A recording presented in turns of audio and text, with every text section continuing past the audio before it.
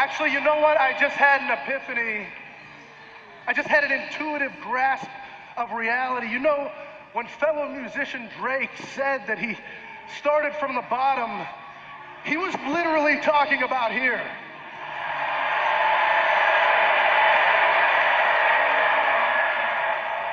Yeah, because there is no city more bottom feeding, no city lower than this God-forsaken hole of Toronto.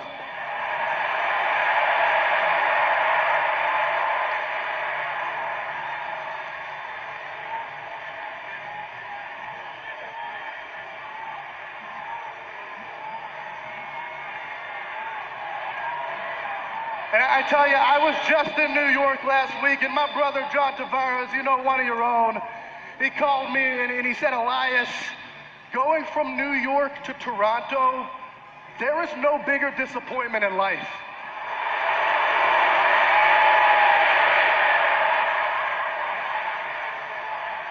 And he speaks the truth.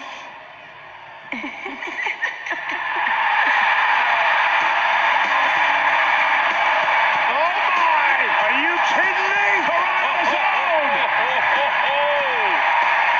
WWE Hall of Famer, Trish Stratus. And ladies and gentlemen, WWE Hall of Famer Trish Stratus.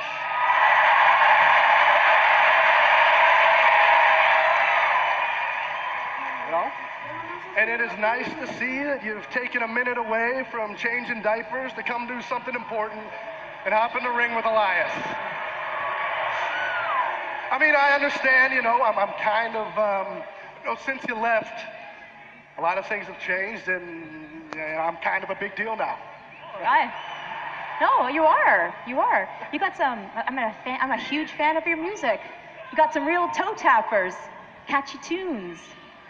But when you start running your mouth about my hometown of Toronto, I'm gonna have to ask you to silence your cell phone. Hold your applause, and most importantly, Elias, shut your mouth.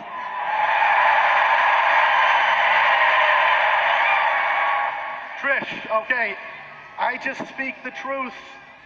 All right, an Elias performance in Toronto, it's it's kind of like the Stanley Cup. They'll never see it in their lifetime.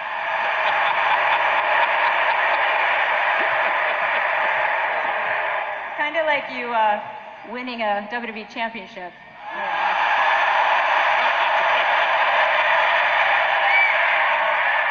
But you know, you are right about one thing, Elias. You're right. A lot of things have changed since I've been gone, for sure.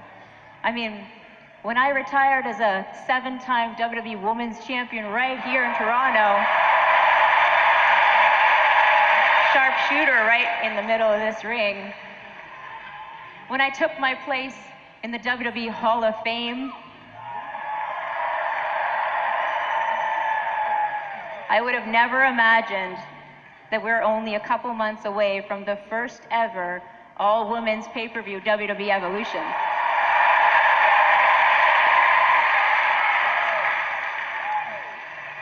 In just a few short months, I'll be lacing up these boots, getting in this very ring to take on Alexa Bliss. Yeah, that's gonna be like a, like a swimsuit motto pillow fight, right? Because I have been looking forward to that for years. Okay, the two of you. Uh, the, That was a good one. Clever. Yeah. You know what? I have a little suggestion for you if you don't mind. I'm thinking it's time for you to pack up your little guitar, take your floral kimono and your fancy little scarves, and just walk yourself that way. Why don't we cut to the chase, okay? Why don't we just get right down to it? The reason you came out here is because you, just like thousands of other women, you want to walk with Elias. but I have to break it to you, Trish.